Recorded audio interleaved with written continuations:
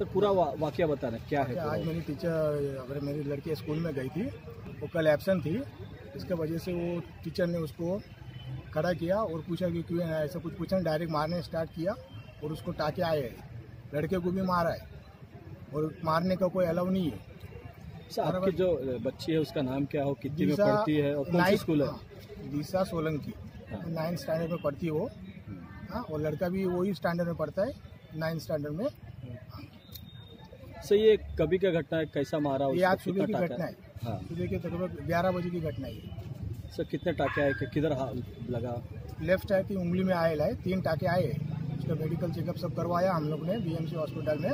और उन्होंने भी लिख के दिया है कि तीन टाके उसको आए। उस, उसकी हम लोग ने तकरार भी की है। इसकी पुलिस शिकायत की और अभी आपकी क्या मांग है? बस हमारी यही मांग है कि बस वो टीचर को थोड़ा सबक सिखाओ उसको बस। हमारी तो वही मांग है बस।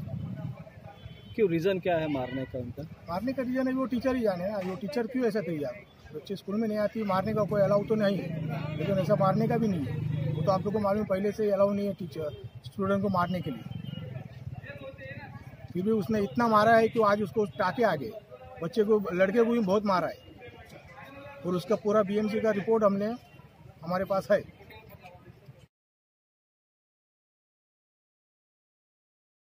चिराग सोलंकी मुझे बेटा क्या हुआ आपके साथ?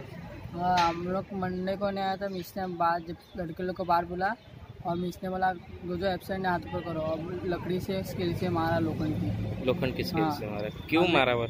एबसेंट है इसके लिए। एबसेंट थे किस वजह से आप एबसेंट थे कुछ मम्मी को बीमार थी इसके लिए एबसेंट है लोग। मम्मी बीमार थे इसलिए हाँ। एबसेंट थे वो आपकी दीदी है के साथ में? हाँ, उनको भी मारा है क्या? मारा उनका हाथ कट गया।